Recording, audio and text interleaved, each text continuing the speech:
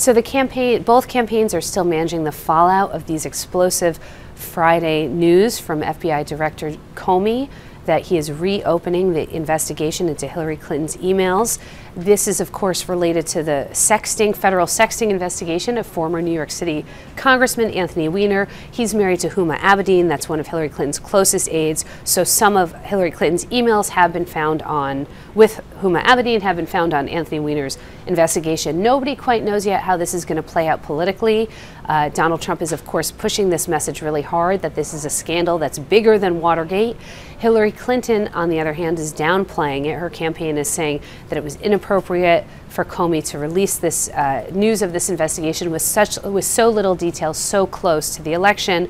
So what we're watching for now is whether this changes the trajectory of the race. She's leading in swing states, she's leading in early voting, she's leading in national polls. This is really Hillary Clinton's race to lose. The question, but we're not on election day yet, and the question is whether the email scandal is something that could make voters say they'd prefer Donald Trump.